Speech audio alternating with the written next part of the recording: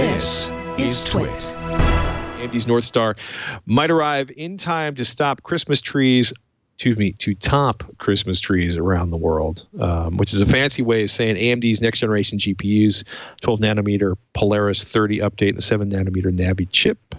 Um, looks like it's going to be here for holiday shopping season before the end of the year.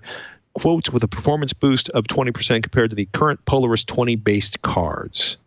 So Yeah, this, Uh-huh. this next year is going to be interesting in terms of, of graphics and, and you know CPUs, GPUs, whatever, uh, because we're we're we've had these intermediate process nodes. Uh, so TSMC has a 12 nanometer. Um, Right. AMD, well, Global Foundries has a 12 nanometer that they're using with uh, the current Ryzen 2000 series chips, and it, all that is is essentially TSMC's is a slightly shrunk version. I mean, it's a bigger jump than Right. what uh, Global Foundries does. Global Foundries is it's just a it's a tweaked 14 nanometer that has better electrical capabilities, and so um, we're assuming I don't know for sure, but it's it's pretty pretty safe bet that uh, this 12 nanometer Polaris is going to be coming from Global Foundries, and so. They've had a little extra time to work on it. I mean, Polaris, when it came out a couple of years ago, it was not not as impressive as people were hoping. And uh, it was very popular, obviously, with the miners. And now we're Mhm. finally at the point where we have sub $300 RX 580 8 gig boards. And, and that's that's just hasn't happened in, in a year, year and a half, maybe even longer. I can't remember exactly. But AMD has had a chance now to kind of see where the process nodes are going.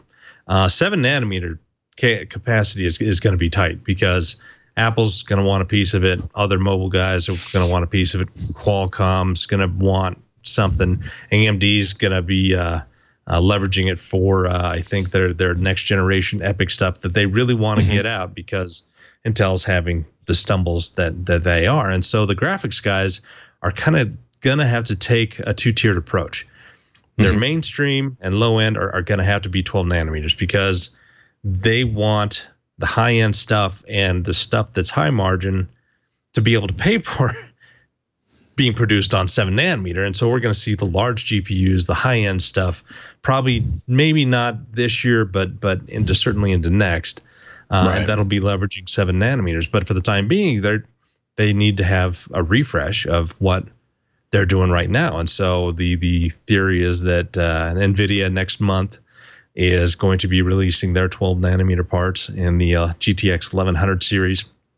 AMD with their their Polaris 20, and uh, you know the the 20 percent probably comes from a combination of two things. One, obviously, you're getting improvement in performance uh, due to the process technology. 12 nanometer process is a little bit faster. It's a little bit better. I mean, we've seen a little bit of jump on the Ryzen side, but the Polaris was not. I mean, it was a fairly well optimized GPU, but not really. I mean, AMD relies on a lot of automated place and route uh, for their designs, especially GPUs, just because they don't have the. Uh, I know they don't have the, the the workforce that that Intel does to uh, Mhm. do a lot of lot of hand uh, laying of of the designs.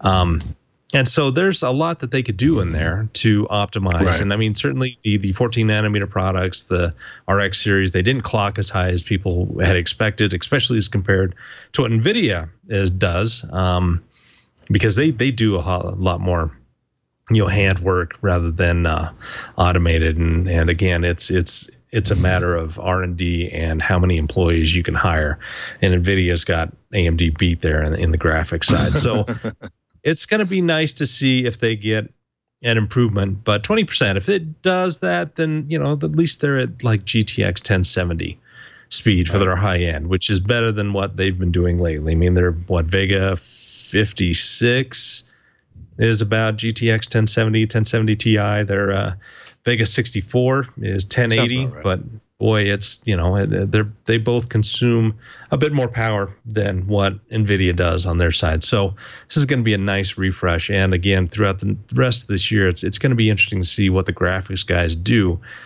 in response to um, you know how much line space there are in in these next generation process technologies.